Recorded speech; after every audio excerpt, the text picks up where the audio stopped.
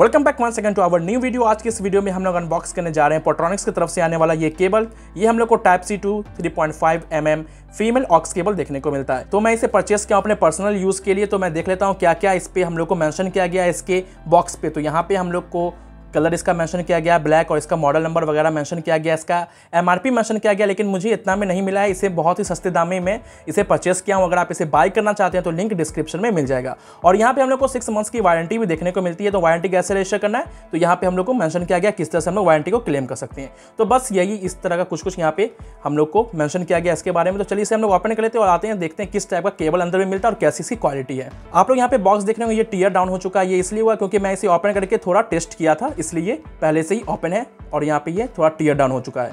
तो मैं इसे ओपन कर लेता हूँ। और सिंपल सा बस ये हम लोग को देखने को मिलता है केबल और यहाँ पे हम लोग को कुछ वारंटी के लिए वारंटी कार्ड्स देखने को मिल जाते हैं। और कुछ भी नहीं इस बॉक्स में मिलता।